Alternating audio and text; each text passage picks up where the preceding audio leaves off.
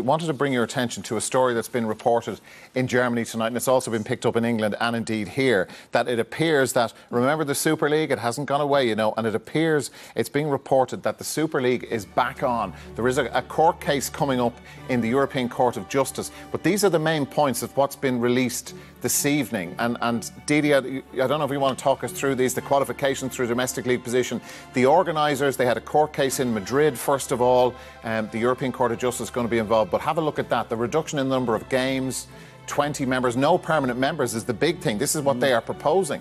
Now? Well, uh, the biggest thing for me is the second point here qualification through domestic league position, which means we still have a Premier League, we still have a La Liga in the Serie A and the Bundesliga. Yeah.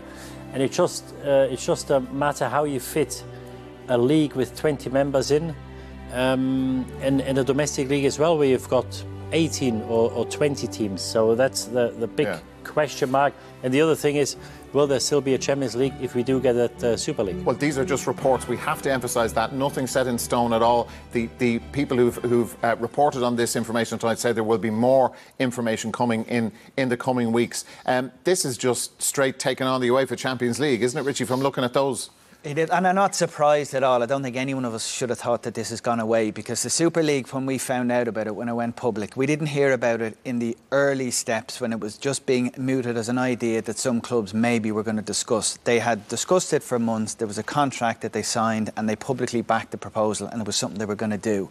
So there, there's. A, a huge kind of weight of support behind this from the clubs, and you can understand why, because of self-interest, which seems to be the only currency at the moment in football. It's all anyone ever thinks of. There's a huge amount of money to be made.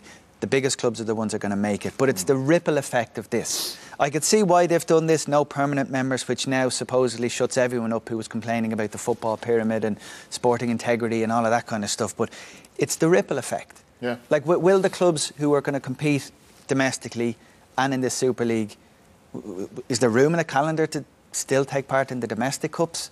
Will there be an interest to do that? Will there be UEFA qualification anymore in the in the major leagues? What will the UEFA competitions yeah. look like?